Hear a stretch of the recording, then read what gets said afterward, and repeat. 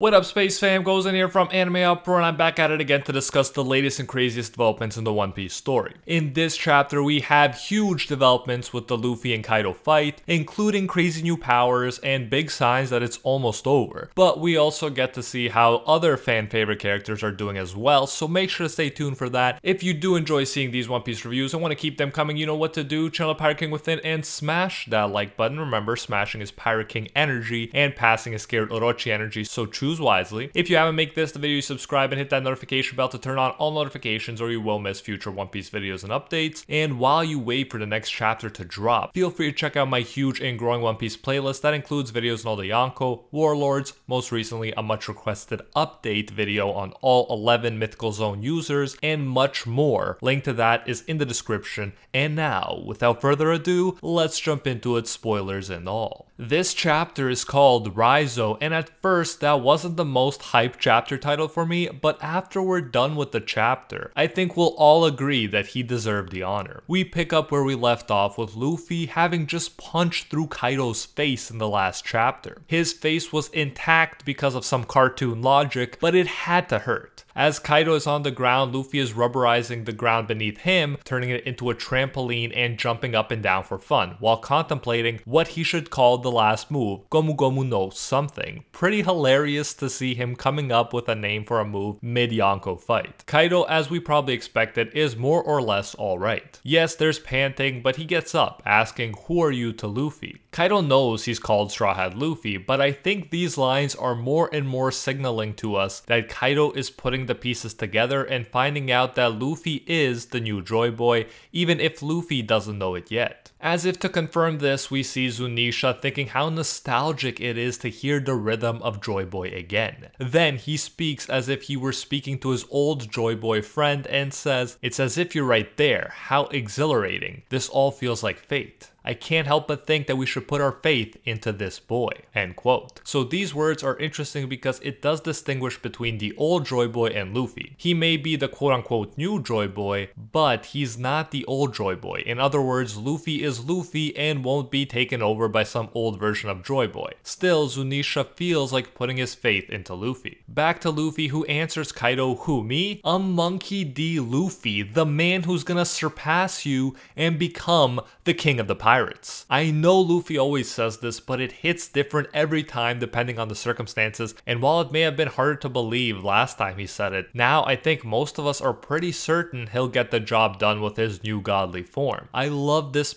persistence and unflinching resolve. Kaido is glad to see Luffy still has that big mouth, by which I assume he means his smile. Kaido is smiling too, saying we call this an awakening. Your mind and body are finally able to harness the potential of your ability and what a ridiculous power it is, end quote. This implies that Kaido has already awakened which makes sense and as I said before, I hope this awakening based on his fruit was the transformation from a Magikarp to a Gyarados. And if that line confuses you, it will make a lot more sense if you watch the brand new 11 Mythical Zoans and their powers explained video, link in the description. Kaido goes on to say he's lost his men, castle, everything he's built in this war, but he supposes the same is true for Luffy. Not really though, since all of Luffy's fighters will be fine eventually, and most of them, even as we speak, are still in solid shape, but Luffy says, I'm not through yet. He'll take back everything Kaido has stolen, no matter what. Which is such a funny thing to hear from one pirate to another, but Luffy has a strong moral compass, and he is not okay with stealing from the innocent and needy. Kaido is still going, dropping a Gundari meteor shower, and hits Luffy over and over again.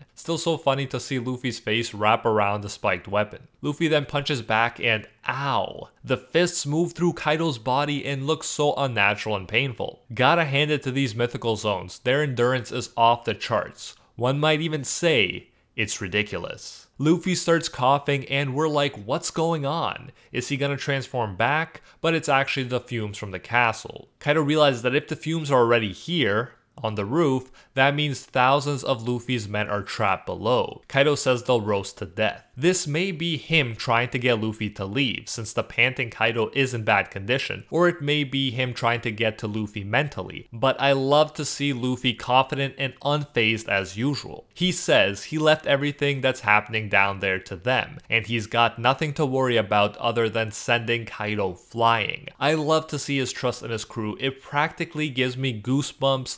Not only is the crew trusting the captain, the captain is also fully trusting the crew. Kaido, looking pretty beat up, uses his scabbard cutter wind slice attack, and Luffy dodges it by pulling his upper body up so that the attack moves between his very extended legs. Love this scene, and as a little bonus, we see the attack slice through a boulder in the back like it's nothing, showing how dangerous the attack is. We then briefly jump to the others. Nami and Chopper are together and dealing with the fire. Zeus can't help since the flame is so big, his rain would just be eaten up. Law's polar bear friend Bepo has to be carried since he's obviously not good with heat. That's actually a hilarious detail about Bepo that makes a lot of sense. There's been a lot of talk on how Law's crew isn't that reliable and them begging for their captain to save them here doesn't really help their case. We get more comedy with people thinking that Brook suffered a lot and is now a burnt up corpse thanks to what happened here, and he has to explain that that's not the case. Robin suggests that there may not be a way outside. Sanji is helping ladies, which makes sense. Good on you, Sanji. Apoo is arguing with a number, not the most exciting scene. Usopp is doing his best to save Kin'emon, Kiku, and himself while Giraffe Hamlet assists. Franky is carrying Zoro and looking for Chopper to help or Zoro isn't going to make it, he worries. I also love hearing the line, keep whining like a bunch of weaklings and I'll burn you myself. That's some boss energy right there. Then Jinbei and Raizo team up to save the day. They trust each other because Luffy trusts them both. Raizo promised he'd never be unprepared like the day Oden's castle burned. He promised to never let himself be helpless again. And so at Zou, he took the insane amount of water Zunisha used to wash itself and captured it. And now he releases it with Ninja Scroll Jutsu Elephant Bath an insane amount of water is released that Jinbei helps direct accurately so it puts out the fire of the castle. I absolutely love this, and it may seem random, but it totally makes sense that Raizo decided to be ready for this since yes, he already almost let Momo and the others burn in a castle once, so he wanted to ensure it didn't happen again. Epic stuff. I didn't love the Raizo versus Fukurokuju fight. I mean, I liked it, but I didn't love it, but this I love. Raizo has more than earned my respect.